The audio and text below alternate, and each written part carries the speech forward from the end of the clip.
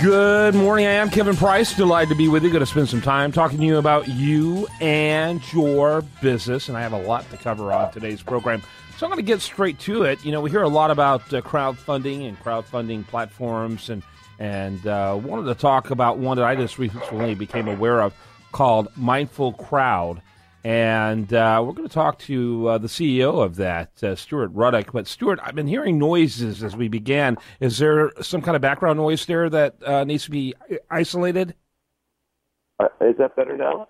Okay, much better. Thank you. Yeah. Stuart, tell us a little bit about yourself and uh, Mindful Crowd.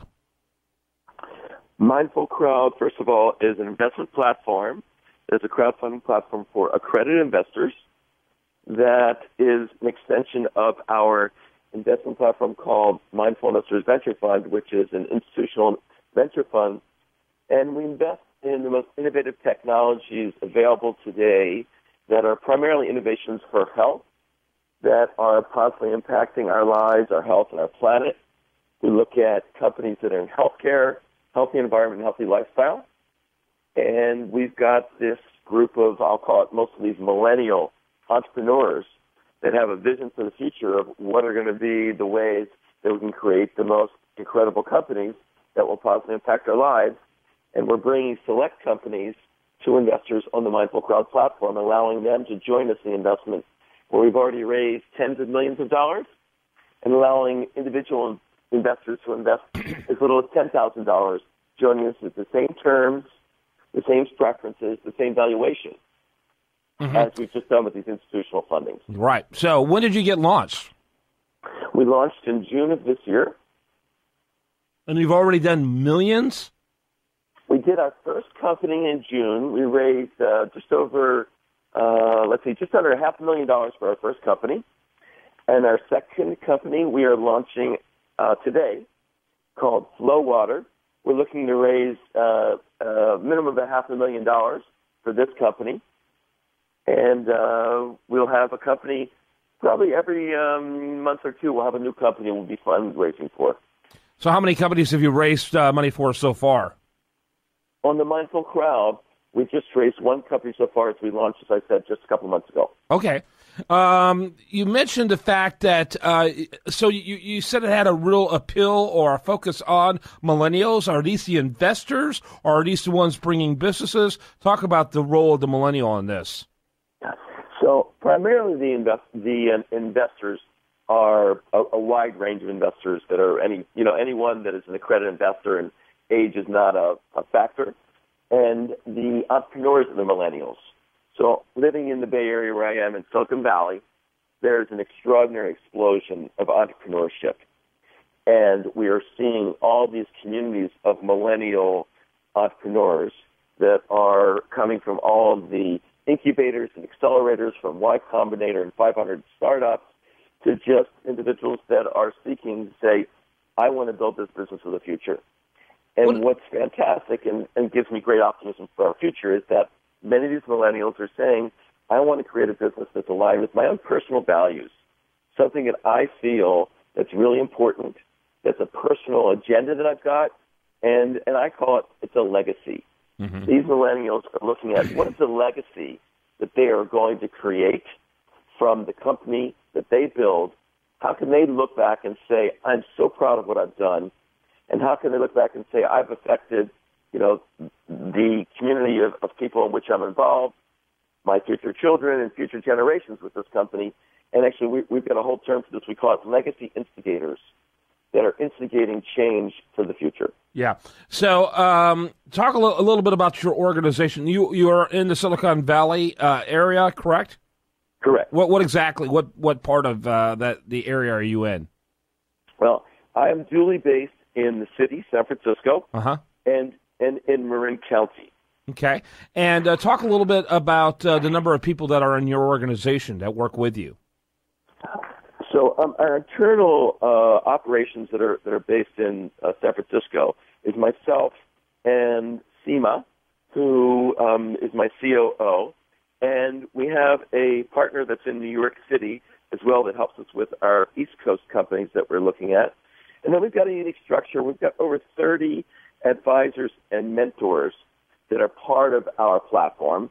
that uh, many of them are in the Bay Area, but all over the country, that have domain expertise in the areas of health, healthcare, healthy environment, uh, consumer product companies, genomics, uh, the biotech arena, and um, help us from everything from uh, referring and sourcing investments for us to helping us do due diligence on the companies and helping us, once we make an investment, take an active role with us, possibly as a board member, an advisor, or maybe you can take an operational role with the company.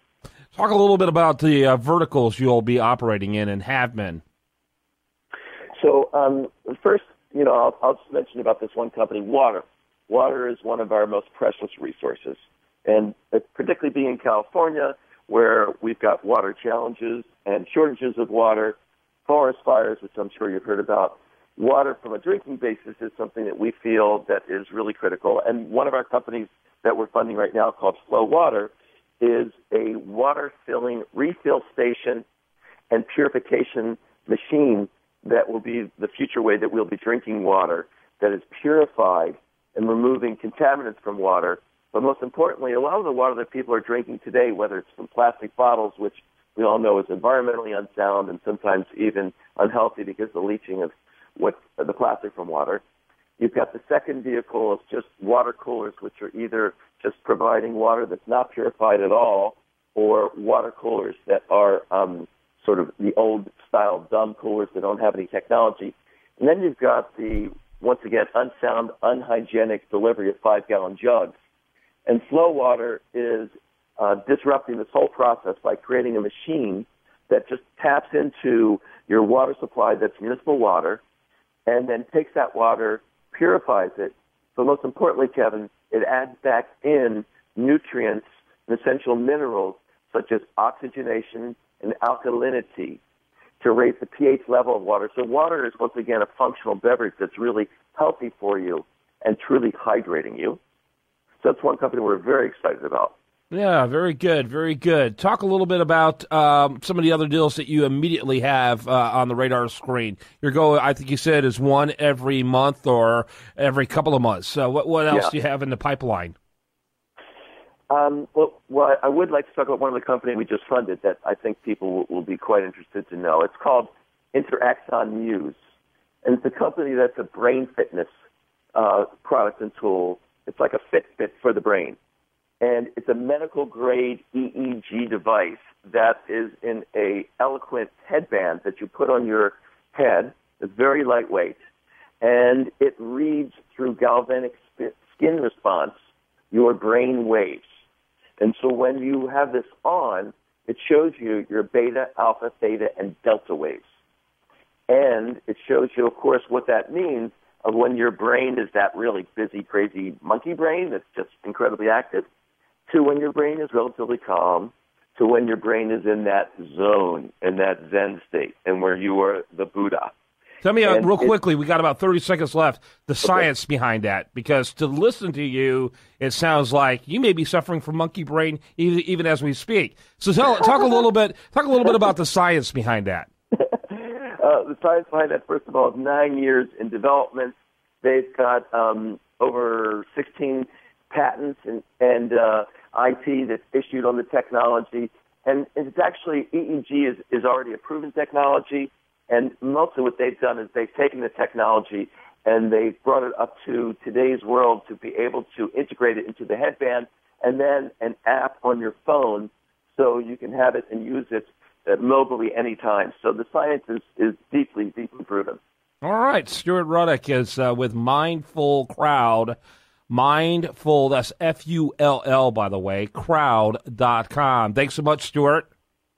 Thank you, Kevin. All right, when we come back, much more for you after this on this program.